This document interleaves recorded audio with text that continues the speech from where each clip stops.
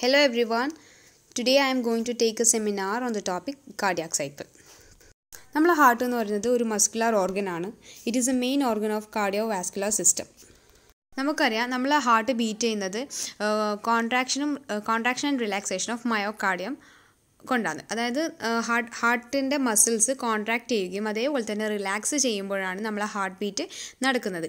അപ്പോൾ ഈ ഒരു സൈക്കിളിനെ നമ്മൾ ടു മേജർ ഫേസസ് ആയിട്ട് ഡിവൈഡ് ചെയ്തിട്ടുണ്ട്.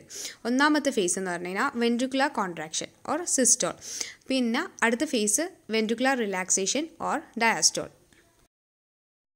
സിസ്റ്റോളിനെ കാട്ടിയും കുറച്ചും കൂടി സമയം അധികം ഡയാസ്റ്റോളിനെടുക്കും. കാരണം ഈ ഡയാസ്റ്റോളിന്റെ സമയത്താണ് ഹാർട്ട് ഹാർട്ട് മസിൽസ് റിലാക്സ് ചെയ്തിട്ട് അതിലേക്ക് ബ്ലഡ് ഫില്ല് ചെയ്യുന്ന ഒരു സമയം എന്ന് പറയുന്നത് ഈ ഒരു ഡയലേഷൻ ചെയ്ത സമയമായിരിക്കും.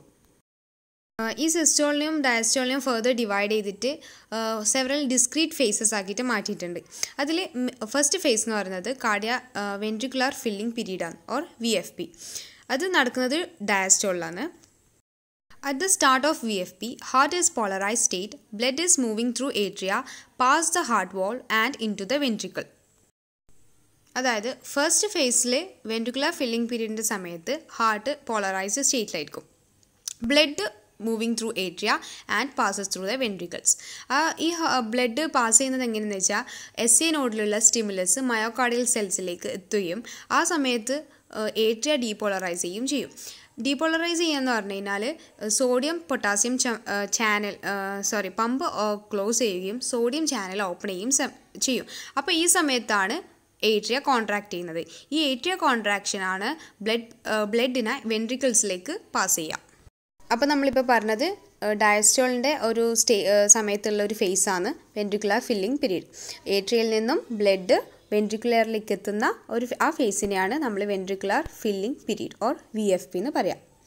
Next next phase is a isovolumetric contraction period or I C P ഈ ഐ സി പി എന്ന് പറയുന്നത് വെൻട്രിക്കുലർ കോൺട്രാക്ഷന്റെ ഒരു ബിഗിനിങ് സ്റ്റേജാണ് in the stage blood is not ejected from the ventricles അതായത് ഈ ഒരു സ്റ്റേജിൽ ബ്ലഡ് ഇജക്റ്റ് ചെയ്യൂല. വെൻട്രിക്കിൾസിൽ നിന്നും ഇജക്റ്റ് ചെയ്യൂല. But pressure builds up in the ventricle in order to force the semilunar valve of aorta and pulmonary artery opens പക്ഷേ ഈ ഒരു സമയത്ത് സെമി എയോട്ടയിലുള്ള സെമിലൂണാർ വോൾവും അതേപോലെ തന്നെ പൾമണറി ആർട്ടറി ഓപ്പൺ ചെയ്യാനുള്ള ഒരു പ്രഷർ ഈ ഒരു സമയത്താണ് കൊടുക്കുക. അപ്പോൾ ഈ ഒരു കാർഡിയാക് സൈക്കിളിന്റെ രണ്ട് ഫേസസ് നമ്മൾ പറഞ്ഞു ഒന്ന് V F P ventricular filling period next one is I C P isovolumetric contraction period. And the third period of the cardiac cycle is the ventricular ejection period or VEP. ഈ ഒരു face systolic ഫേസിന്റെ ഒരു continuation ആയിട്ട് വരുന്നൊരു ഫേസാണ് P pressure within the ventricle is increase to the extent that of blood is ejected from the ventricles into the aorta and pulmonary arteries ഈ V E പിന്റെ ഈ ഒരു സമയത്താണ് വെന്റിക്കിൾസിലുള്ള പ്രഷർ ഇൻക്രീസ് ചെയ്യും. അതായത് വെൻട്രിക്കിൾസിന്റെ പ്രഷർ കൂടും. അപ്പോൾ ബ്ലഡ് എന്ത് ചെയ്യുകയെന്ന് വെച്ച് കഴിഞ്ഞാൽ വെൻട്രിക്കിൾസിൽ നിന്നും എയോട്ടയിലേക്കും അതേപോലെ തന്നെ പൾമണറി ആർട്ടർ പൾമണറി ആർട്ടറിയിലേക്കും പാസ് ചെയ്യും. നമുക്കറിയാം പൾമണറി ആർട്ടറിയാണ് ഹാർട്ടിൽ നിന്നുള്ള ഡിയോക്സിജനേറ്റഡ് ബ്ലഡിനെ ലങ്സിലേക്ക് കൊണ്ടുപോകുന്നത്. അപ്പോൾ ഈ ഒരു വെന്റിക്കുലാർ ഇജക്ഷൻ പീരീഡിന്റെ സമയത്ത് വെൻട്രിക്കിൾസിലുള്ള പ്രഷർ ഇൻക്രീസ് ചെയ്യുകയും അത് ആ സമയത്ത് തന്നെ ഈ ഈ ബ്ലഡിനെ ലങ്സിൽ ലങ്സിലേക്ക് ഓക്സിജനേറ്റഡ് ചെയ്യാൻ വേണ്ടിയിട്ട് കൊണ്ടുപോവുകയും ചെയ്യുന്ന ആ ഒരു പീരീഡാണ് വി ഇ പി എന്ന് പറയുന്നത്. The final part of the cardiac cycle is the isovolumetric relaxation period or I R P it occurs during diastole ഈ ഒരു പീരീഡ് നടക്കുന്നത് ഡയസ്റ്റോളിന്റെ സമയത്താണ്.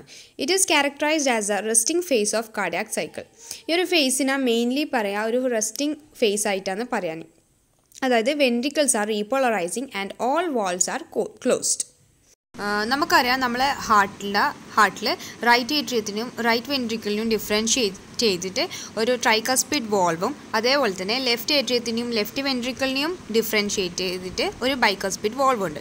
അപ്പോൾ ഈ വോൾവ്സ് എല്ലാം ക്ലോസ് ചെയ്യുന്ന ഈ ഒരു സമയമാണ് ഐസോവോളമെട്രിക് റിലാക്സേഷൻ പീരീഡ് അപ്പോൾ ഇത്രയേ ഉള്ളൂ കാർഡിയാക് സൈക്കിൾ എന്ന് പറഞ്ഞു കഴിഞ്ഞാൽ നമ്മൾ പറഞ്ഞു കാർഡിയാക് സൈക്കിൾ ഫോർ ഫേസസ് ആയിട്ട് ഡിവൈഡ് ചെയ്തിട്ടുണ്ട്. The first one is ventricular filling period or V F P second one is isovolumetric contraction period or I C P third one is ventricular ejection period or V E P and the last one is isovolumetric relaxation period or I R P thank you